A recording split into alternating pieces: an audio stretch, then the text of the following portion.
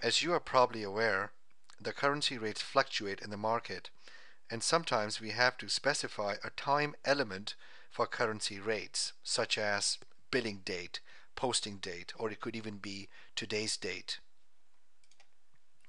Before you do currency conversions in SAP HANA, you want to make sure that the standard SAP tables are added to SAP HANA in one of the schemas. So these are the T-Cur tables, for example, which have the exchange rates. So they need to be in HANA before you do currency conversions. This is the scenario that I'm going to demonstrate. Now, in our source, um, in our source table, we have sales orders and amount in Great British Pounds. We want to convert this into dollars. So that's a fixed currency to a fixed currency. But in this scenario, we have variable currency.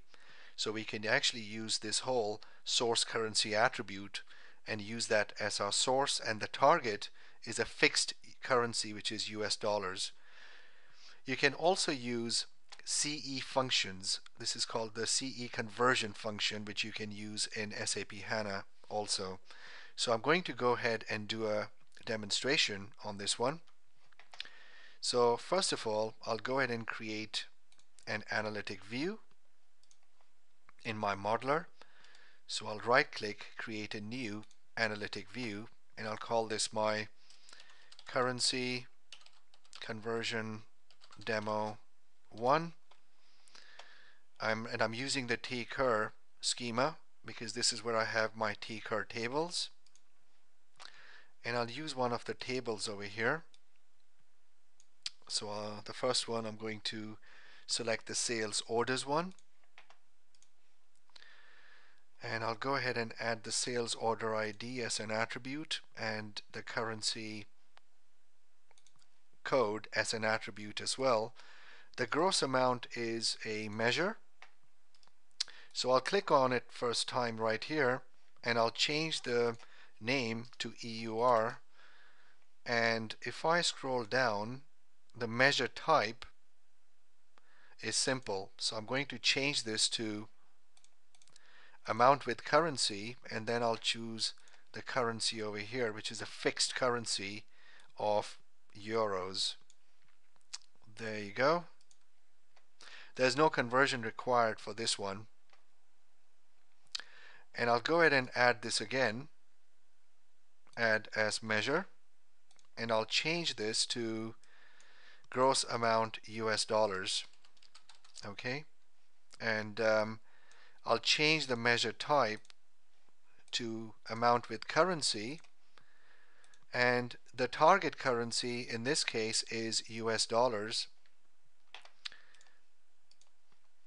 Enable for conversion and then I have to specify the source currency as well which in this case is fixed. Exchange type. So here I'm going to select the historical rate that I want and I will also specify the date. Okay so whatever rate was valid on this date is going to be used. So I'll use uh, December 12th for example. Click OK. Save. And let's go ahead and activate our analytic view. Activation is done and let's do a data preview and you will see that this is the gross amount in euros and this is the gross amount in US dollars after conversion. What I can also do is um, I'll go ahead and create another one with variable currency instead.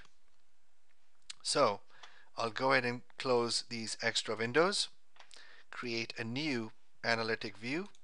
So this is my currency demo number two, currency conversion demo 2 and in this case I'm going to um, this this will be the purchase orders dynamic currencies in this case. So I'll go ahead and choose a table that I'm going to use. SNWDPO and I'm going to add the purchase order ID and I'm also going to add the currency code as an attribute and the gross amount as the measure. Okay? So if I click on the gross amount, I'm going to rename this one as base. So I'm using this as my base and I'll change the measure type to amount with currency. And this time I'm going to instead of choosing fixed I'm going to change it to an attribute because we have variable currencies. And I'll just click on OK.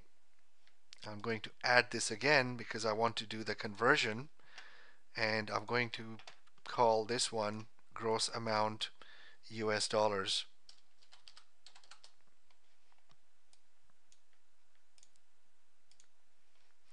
And this is amount with currency.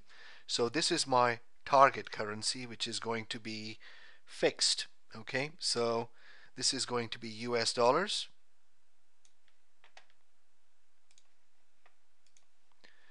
Enable for conversion this time. The source currency remember was an attribute currency code. So on each row you might have different currencies. And uh, exchange rate type I will use the historical rate. And for the date I will use a fixed date.